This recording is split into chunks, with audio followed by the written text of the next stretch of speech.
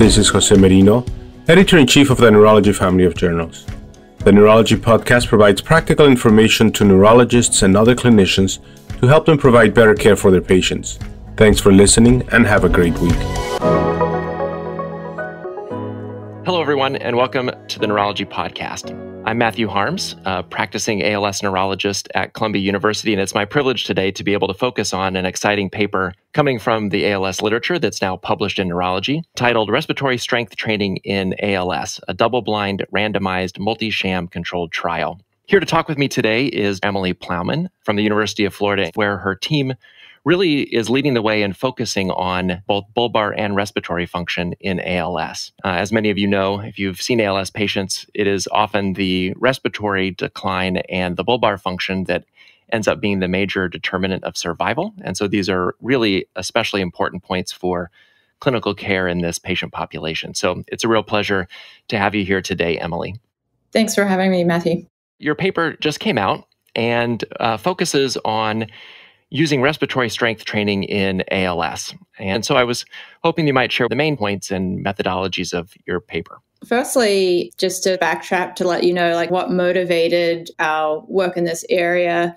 We've been, from a broadly speaking standpoint, traditional sort of ALS models of care have been primarily palliative and reactive in nature, uh, whereby interventions have been applied after and in response to clinically identified impairment thresholds. So, for example, as you know, the use of mechanical insufflation, exsufflation, or, or cough assist has been routinely prescribed in the United States once a critical impairment threshold where whereby peak cough flow hits 270 liters per minute. And so, the actionary way, then all of a sudden, this cough assist device is prescribed to the patient. And this historical reactive model of care is really disease centric. And what I mean by that is that the unknown and sometimes unpredictable ALS disease progression, in addition to a clinician's ability to identify those impairments, which, as you all know, sometimes access to care can be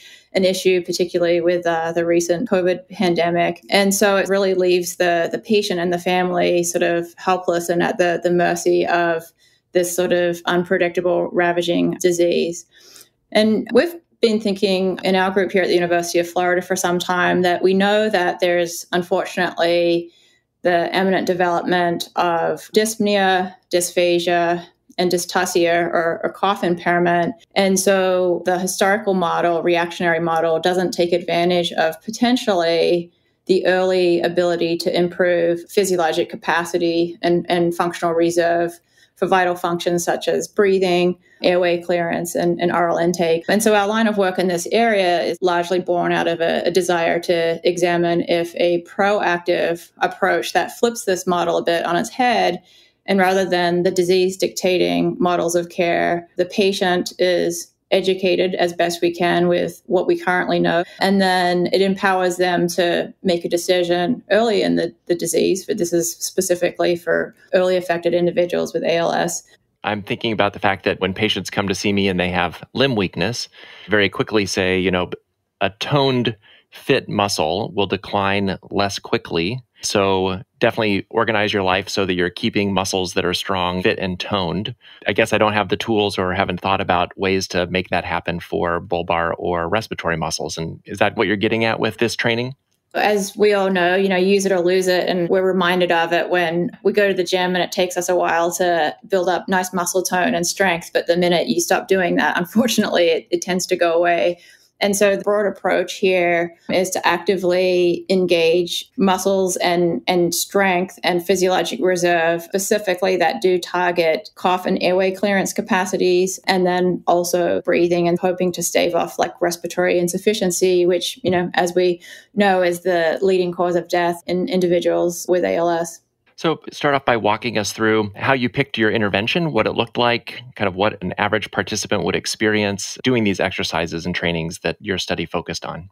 We screened 51 individuals with ALS across two sites at the University of South Florida in Tampa and the University of Florida in Gainesville. And we enrolled 45 early affected individuals with ALS. And I would like to specify that these patients, the inclusion criteria, they had to have a forced vital capacity that was greater than or equal to 70% predicted. So that's a very important point to, to make out when we're talking about our findings, that these don't generalize to every individual with ALS. In addition, their ALS functional rating scale revised needed to be 34 or higher. And we specifically targeted this group, Matthew, because we do speculate that there's this critical window of time in which engaging in these proactive exercises could be beneficial to pump up the bank account, so to speak, or the savings account, which is sometimes how I describe it to patients, which unfortunately they will decline, but we're just sort of trying to boost up their physiologic capacities, similar to what folks may do before undergoing a surgery. They may be told that they need to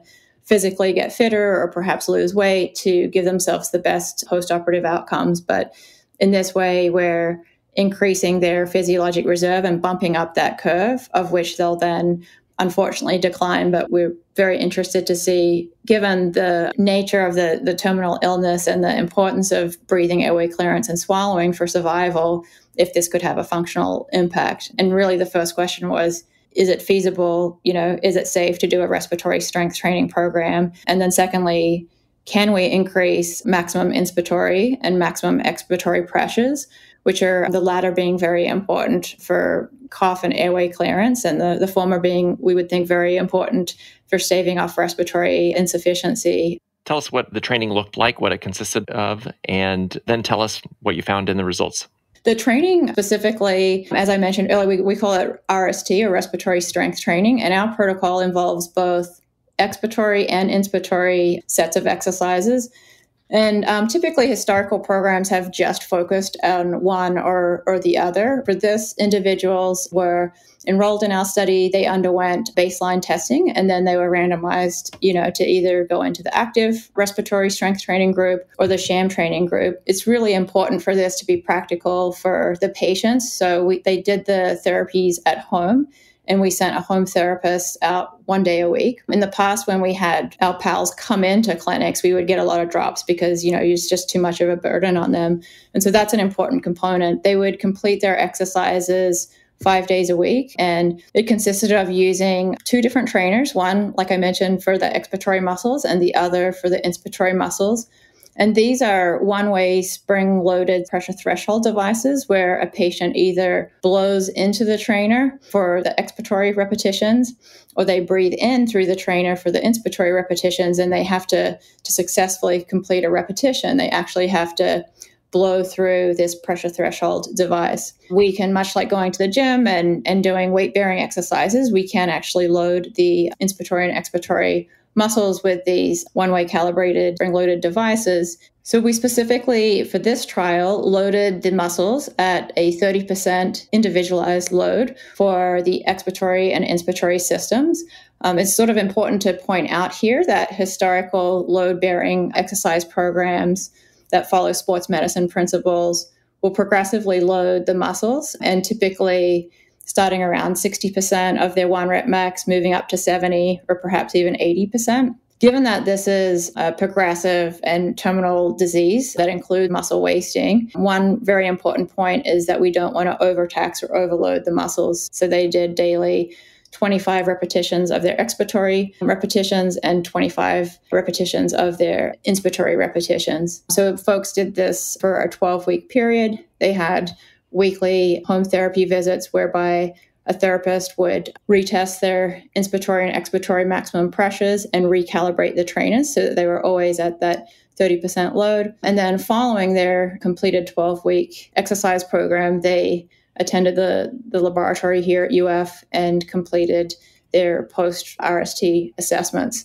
And then we also looked at one year functional outcomes um, for time to referral to non invasive ventilation, looking at both their bulbar subscale and total ALS decline rates over uh, the 12 month period, and then also their oral feeding status. And if I understand from your paper correctly, you found that doing this training was associated with improvements in some metrics and no change in other metrics. Can you walk us through that aspect of the results?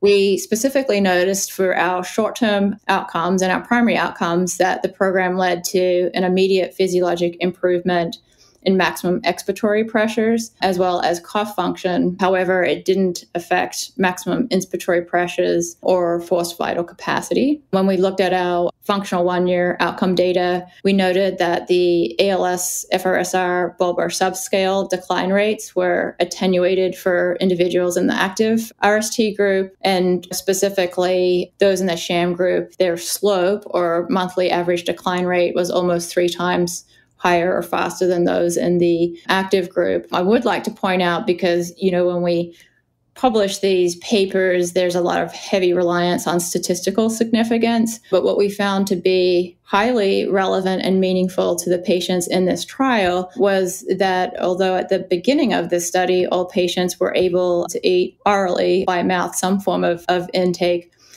when we looked at our one year, 12 month outcome data, 87% of individuals in the active group were still consuming an oral diet compared to only 64% of individuals in the sham group. And so we found that to be clinically quite meaningful to those patients. And then the, the other thing I'd like to point out that potentially could be missed by the statistical significance, but although our survival analysis didn't denote any significant differences, for timing of NIV referrals across group. Um, if you looked at data on the 14 participants who did commence non invasive ventilation, on average, those in the active group commenced NIV 12 months later than those in the sham group, suggesting that perhaps respiratory function was preserved for a bit longer in these participants. Do you have a, another trial in mind? And how would you do things differently based on what you learned from this I think, you know, the key is we need to increase our and do this across other sites. Like a lot of studies, this in some senses uh, raises more questions than answers. And so,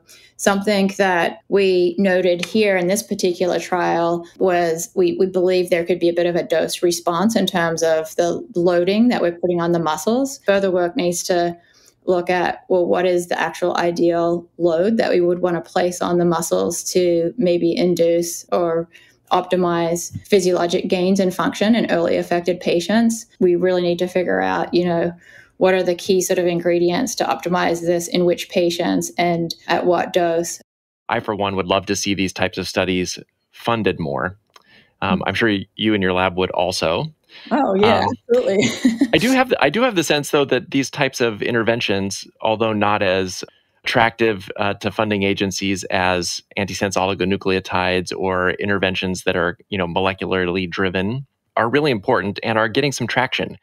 This is very low tech. It's very easy to disseminate because the trainers that one can use for this are typically in the order of like $50 for patients that mm-hmm. they can even order them themselves.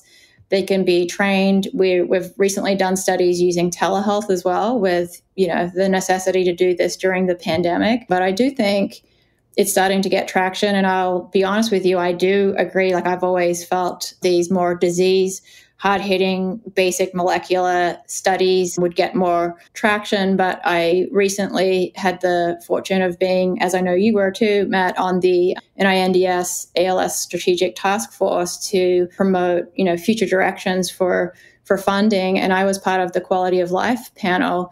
And I'll be mm-hmm. honest, I sort of thought, oh, no people are not going to be everyone's going to go take their lunch break during our session and there's going to be less interest in that. But i actually i was pleasantly surprised. I found the opposite and i had a lot of people contact me afterwards and so i do agree with you and i'm excited about this that right now people are living with these diseases and you know what pals and their caregivers have but they've taught me a lot but what they also have shown me is you know the human spirit sort of needs a sense of purpose every day and you know they also need a sense of hope and not to overstate this because this is sort of symptom modifying in the short term so i want to be clear on that. But i have noted in hundreds of patients that i've done this with even just in clinic that when they know they have to get up every day and do their exercises and they have a purpose with that there's also like a intangible sort of quality of life aspect to this i think that is really nice and the fact that it empowers them to take control of one thing. And they typically see improvements in their numbers and when everything else is frankly sort of you know going down the tube then this is like a really great thing for them. So yeah Well, fantastic. And really appreciate you taking the time today to talk to us about your paper, Respiratory Strength Training in ALS, a double blind, randomized, multi center, sham controlled trial. Obviously, a mouthful of a title, but uh, need to fit all of that in there to convey what it does. That paper with Emily Plowman as the first author is now available in pre publication in the journal Neurology. Thank you again for joining us today for the Neurology Podcast. We hope you check out other episodes on the webpage. This is Stacey Clardy, your podcast editor. If you've enjoyed the podcast, please take a few moments to subscribe, rate, and review the Neurology Podcast through Apple Podcasts, Google Podcasts, Spotify, or wherever you listen. And remember, you can always head to neurology.org backslash podcast for our full list of past episodes. Or you can also search by keyword in your podcast app for any neurology specific topics you want to learn about.